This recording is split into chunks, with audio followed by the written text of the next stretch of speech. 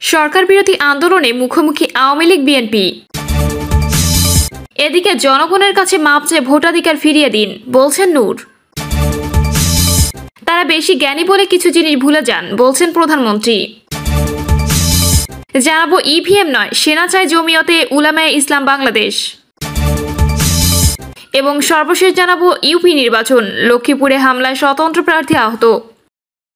শিরোনাম শুনলেন এবারে বিস্তারিত। সরকার বিরোধী আন্দোলনে মুখোমুখি আওয়ামী লীগ বিএনপি। বিএনপি নেতারা জানিয়েছেন সরকার বিরোধী জাতীয় ঐক্য হয়ে গেছে। তারা বলছেন, শিগগিরই মাঠে নামবেন তারা। যত বাধায় আসুক, জনগণকে সঙ্গে নিয়ে আন্দোলন সফল করার হুঁশিয়ারিও দেন দলটির নেতারা।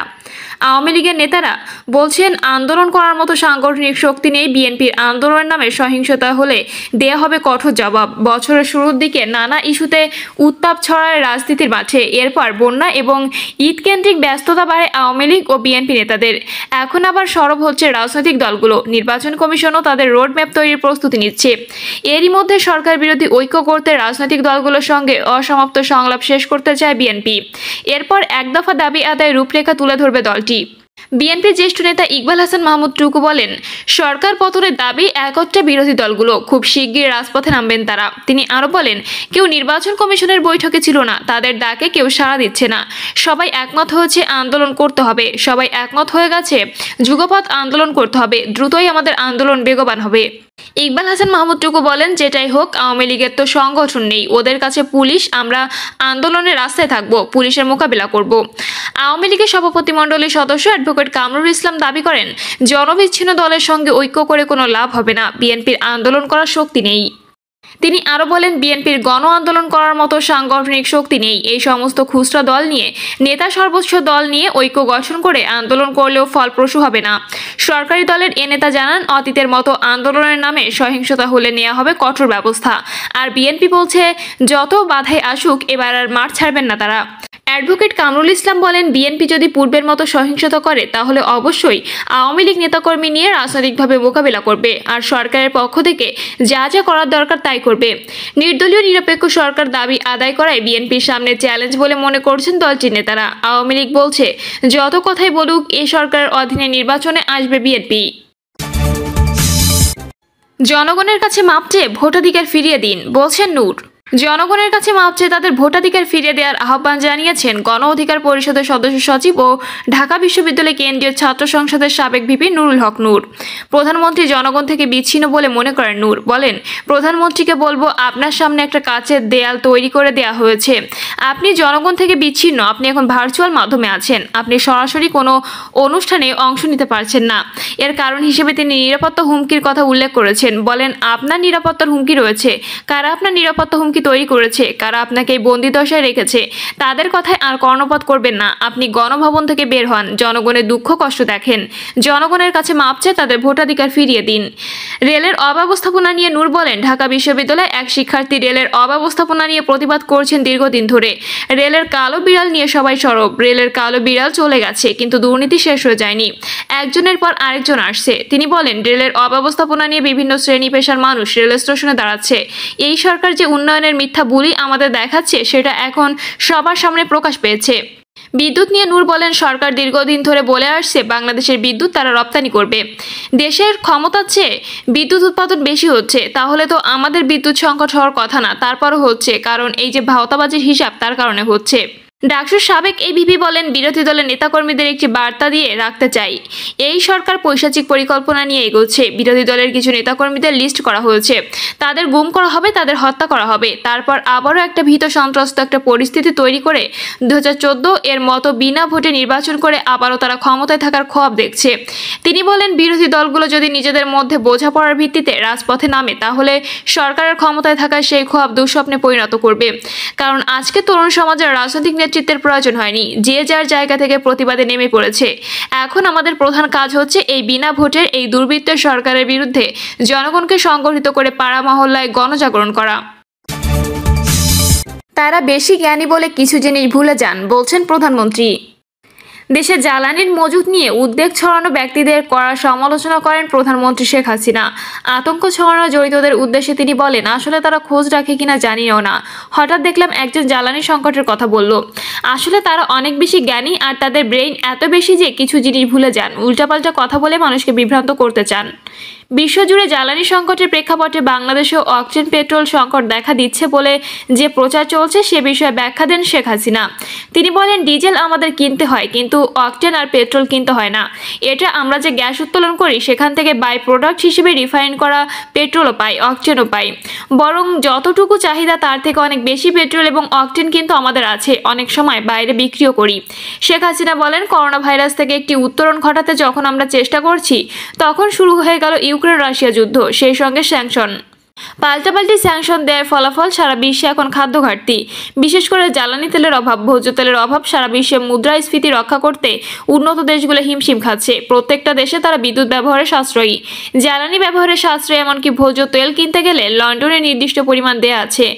প্রত্যেকটা দেশে এই দৃশ্য। বাংলাদেশে যেন এরকম দৃশ্য না আসে, সেজন্য আগাম পদক্ষেপ নিয়েছি। প্রধানমন্ত্রী বলেন, সবাইকে আহ্বান করেছি বিদ্যুতের সাশ্রয়ী হতে হবে, পানি ব্যবহারে সাশ্রয়ী হতে হবে। নিজেদের সঞ্চয় নিজেদের করতে হবে হবে। বিশ্বব্যাপী অর্থনৈতিক মন্দা দেখা দিয়েছে। তার ঢেউ থেকে বাংলাদেশ বাদ যাচ্ছে না। যায় না। আজকের পৃথিবীটা সেরকম। যেগুলো আমদানি নির্ভর, সেগুলো তো আরও সমস্যা। পরিবহন খরচ বেড়ে গেছে। বিদ্যুতে ভর্তুকি দিচ্ছি, জ্বালানিতে ভর্তুকি দিচ্ছি, ভর্তুকি দিয়ে যাচ্ছি। তারপরও আমাদের লক্ষ্য উৎপাদন যেন অব্যাহত থাকে। সরকার প্রধান বলেন, প্রতিটি প্রতিষ্ঠানকে নির্দেশ দিয়েছি যার যেখানে যতটুকু জায়গা আছে চাষাবাদ করবেন। যার যতটুকু জমি আছে উৎপাদন করতে পারবেন। উদ্ধৃত হলে অন্য দেশে সহযোগিতা করতে পারব। তিনি বলেন সবাইকে সাশ্রয়ী থাকতে হবে। বিদ্যুৎ দিয়েছি সত্য। যেহেতু বিশ্বব্যাপী মন্দা দেখা দিয়েছে, উন্নত দেশগুলো বিদ্যুৎ ব্যবহারে সাশ্রয়ী হচ্ছে। মহাবিপদে যাতে না পড়ি, তার জন্য আগে থেকে ব্যবস্থা নিতে হবে। সে কারণে যে পদক্ষেপ নিয়েছি, আমরা সাশ্রয়ী হবার চেষ্টা করছি। বিদ্যুতের ব্যাপারে পদক্ষেপ নিচ্ছি। এর মানে এই না যে বিদ্যুৎ একেবারে নেই বা শেষ হয়ে গেছে, তা কিন্তু না। কিছু কিছু জ্ঞানী মানুষ আছে, মাঝে মাঝে অনেক কথা বলে বেড়ায়। প্রধানমন্ত্রী বলেন, তারা অনেক বেশি জ্ঞানী। তাদের জ্ঞানের ভান্ডার এত বেশি যে ক্ষুদ্র ক্ষুদ্র জিনিস তারা ভুলে যায়। কিন্তু উল্টোপাল্টা কথা বলে মানুষকে বিভ্রান্ত করতে চায়। পাশাপাশি আমাদের রিজার্ভ নিয়েও কথা বলে। এক থেকে দুই হাজার ছয় বিএনপি যখন ক্ষমতায়, রিজার্ভ কত ছিল? তিন বিলিয়নের কিছু উপরে। তিন দশমিক আট। আওয়ামী লীগ সরকারে আসার পর আমরা যখন সরকার গঠন করি দু হাজার নয় সালে কিছুটা বেড়েছিল। যেখানে মাত্র সাত বিলিয়নের মতো পেয়েছিলাম। আটচল্লিশ বিলিয়ন পর্যন্ত রিজার্ভ বাড়াতে সক্ষম হয়েছিলাম। সরকার প্রধান বলেন, করোনাকালীন আমাদের আমদানি বন্ধ ছিল। এরপর আমদানি করতে হয়েছে।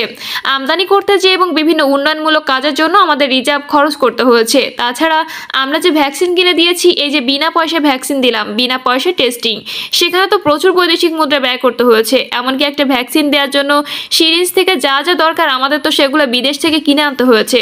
শুধু কেনা না, আমাদের বিমান পাঠিয়ে বিদেশ থেকে আনতে হয়েছে। সেখানে বিরাট অঙ্কের টাকা খরচ করেছি।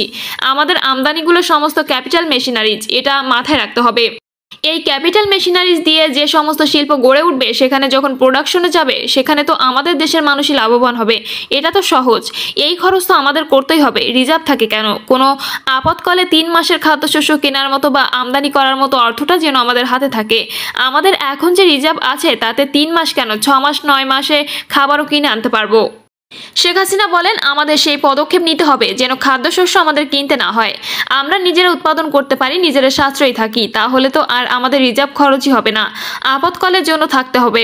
ব্যাপকভাবে ভর্তুকি দিয়ে যাচ্ছি, মাথাপিছু আয় বৃদ্ধি পেয়েছে। জিডিপি ধরে রাখতে সক্ষম হয়েছি।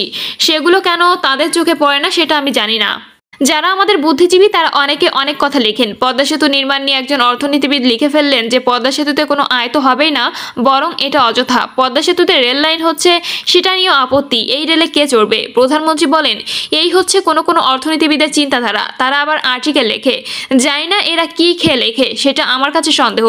বাংলাদেশটাকে কতটুকু চেনে, সেটা নিয়েও আমার সন্দেহ। দক্ষিণ অঞ্চলে গিয়েছে কিনা আমি জানি না।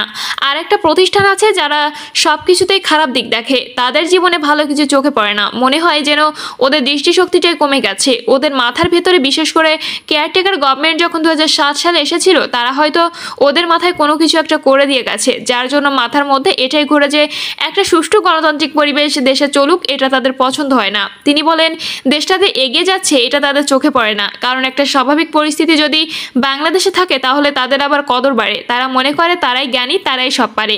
কিন্তু আমরা হয়তো তাদের মতো অত জ্ঞানী না, অত লেখাপড়া শিখি নাই। নাই, কিন্তু দেশটাকে চিনি। জ্ঞানীরা যখন ক্ষমতায় ছিল, তখন তো উন্নয়নশীল দেশে যেতে পারেনি। আমাদের মতো আমরা যারা লেখাপড়া জানি না, আমরা যখন ক্ষমতায়, তখনই বাংলাদেশের উন্নতি হয়েছে। আজকে আমরা উন্নয়নশীল দেশের মর্যাদা পেয়েছি। আমরা দেশের মানুষকে ভালোবেসে মাটি মানুষের জন্য কাজ করি বলেই এটা সম্ভব হয়েছে।